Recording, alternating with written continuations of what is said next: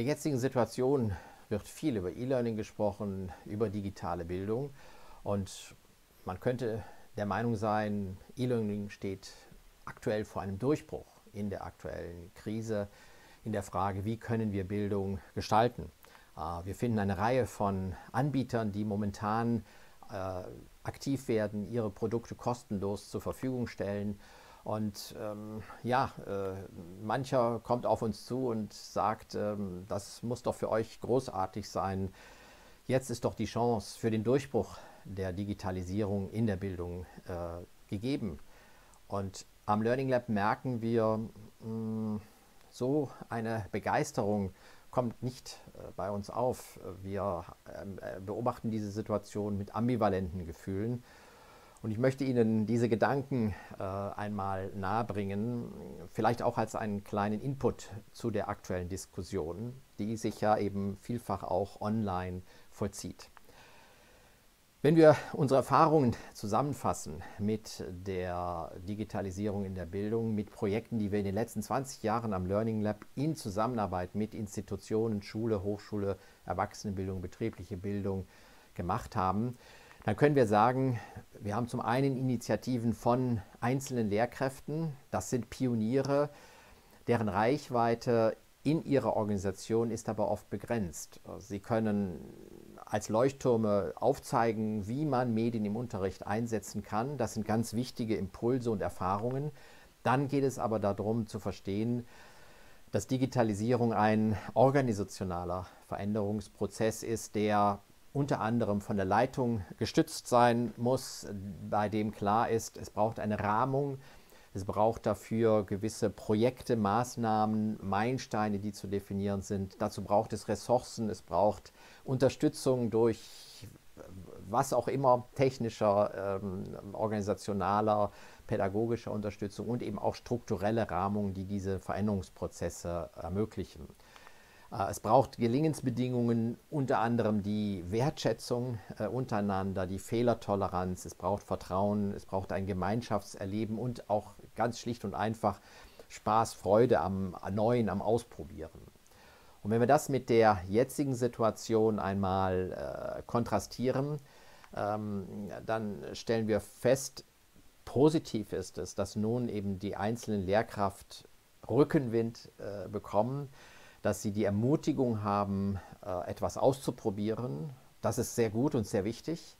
Aber die einzelne Lehrkraft ist natürlich vielfach auf sich ganz alleine gestellt. Ähm, das Ganze ist nicht eingebunden in einen systematischen, organisational integrierten Entwicklungs- und Veränderungsprozess.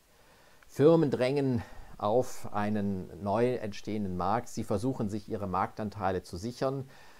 Dies finde ich ist in äh, der Situation durchaus okay, äh, aber wir müssen eben halt verstehen, dass das nicht die Lösung ist für die Schulen, dass das nicht hinreichend ist, äh, jetzt auf die ein oder andere Technik aufzuspringen, sondern im Grunde genommen müssen wir verstehen, dass dies halt doch ein komplexerer Veränderungsprozess ist, der halt eine ganze Organisation betrifft. Wie arbeiten wir? Wie organisieren wir die Online-Elemente? Wie vollziehen sich da Prüfungen, Lernaufgaben und so weiter? Wer ist für was zuständig? Im Ende geht es mir um die Frage, ist es möglicherweise auch mit einer Überforderung verbunden der, für die Lehrkräfte? Haben wir möglicherweise auch falsche Erwartungen an eine digitale Bildung? Äh, ist es möglicherweise so, dass, ähm, ja, dass in dieser aktuellen Euphorie äh, oder auch in dieser notgedrungenen Euphorie äh, in der Hinwendung zu digitalen Medien möglicherweise falsche Erwartungen entstehen, als ob wir nun durch die digitale Technik einen Schlüssel haben, um mit dieser Krisensituation in der Bildung tatsächlich umzugehen. Äh, wenn wir das kontrastieren, einerseits die Erfahrungswerte, die existieren aus dem ähm, äh, aus den äh, Projekten zur Digitalisierung in der Bildung und der jetzigen Situation, dann merken wir, im Grunde genommen sind die Voraussetzungen für diesen Wandel denkbar ungünstig. Und ähm, es bleibt die Frage, können wir in der jetzigen Situation diese Erfahrungswerte in irgendeiner Weise aufgreifen und könnte man die Einrichtungen dazu ermutigen, aus diesen Erfahrungen etwas zu nutzen und eben nicht einfach es auf die einzelne Lehrkraft äh, zu übertragen und zu sagen, jetzt probier halt mal was aus, sondern zu überlegen, wie können wir diese Rahmung schaffen, dass Lehrkräfte gemeinsam sich auch äh, unterwegs auf den, Weg, auf den Weg machen, äh, hier versuchen etwas zu entwickeln. Und ähm, ich will auch für die Forschung die äh, Frage stellen, ähm, äh, was bedeutet das für uns? Ähm, zum einen müssen wir natürlich auch mit der Unsicherheit umgehen, ob die bisherigen Befunde auch stimmen. Also sprich, äh, ist in der Krise möglicherweise auch mit anderen Überlegungen zu rechnen, müssen wir hier andere Gedanken aufgreifen, auch andere Ansätze verfolgen, stimmen unsere bisherigen Erkenntnisse und Überlegungen. Vielleicht sollten wir uns auch überraschen lassen, äh, dass in der jetzigen Situation vielleicht auch manches anders funktioniert. Denn vielleicht unterschätzen wir auch die Krise. Vielleicht schafft sie auch andere Wege des Lernens, des Umgehens mit der Technologie, die in den vorigen Jahrzehnten so wir noch nicht beobachten konnten. Also insofern müssen wir da auch vielleicht die eben genannten Punkte wieder etwas zurücknehmen. Und für die Forschung, glaube ich, ist eine besonders wichtige Frage auch nachzudenken, was bedeuten die aktuellen Krisenerfahrungen für Bildung nach der Krise? Ja, was bedeutet das für das Lernen? Was bedeutet das für Bildungsinstitutionen nach der Krise? Äh, wie werden wir dann mit den Erfahrungen, die die Menschen auch mit diesen Online-Tools, mit den digitalen Werkzeugen gemacht haben, wie werden sie nach der Krise Bildung gestalten? Welche Optionen tun sich da auf? Auch das, denke ich mir, ist wichtig, dass wir nachdenken.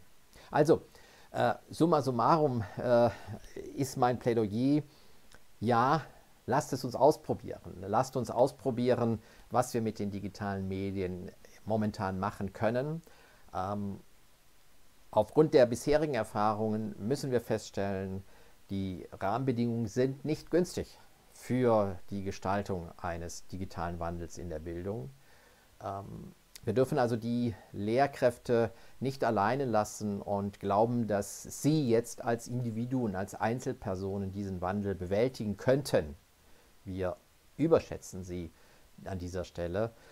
Aber gleichzeitig unterschätzen wir vielleicht auch die Krisensituation, die möglicherweise ganz neue Wege zur Veränderung in der Bildung äh, führen werden. Und insofern müssen wir uns in der Forschung vielleicht auch darauf einstellen, was es bedeutet, ähm, in der Zukunft in einer Situation nach der Krise über die digitale Digitalisierung und Bildung im Ganzen nachzudenken. Vielen Dank.